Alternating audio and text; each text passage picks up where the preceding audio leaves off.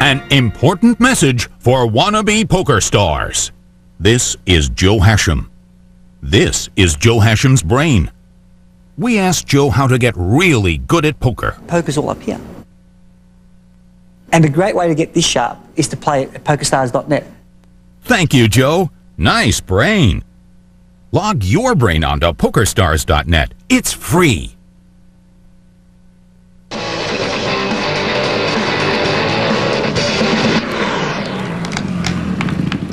Hey, think I got here by sitting on my butt all day playing video games?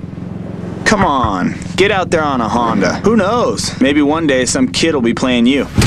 Introducing the new Honda CRF F-Series. Unplug your kids. This season, give them one of Honda's gifts that go for as little as $39 a month and get up to $200 in bonus bucks.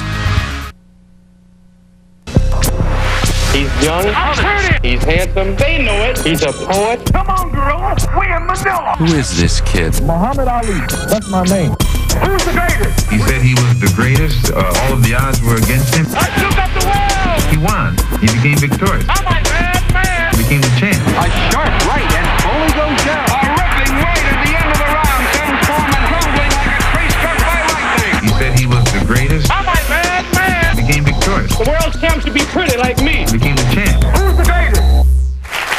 Welcome back to Quite Frankly.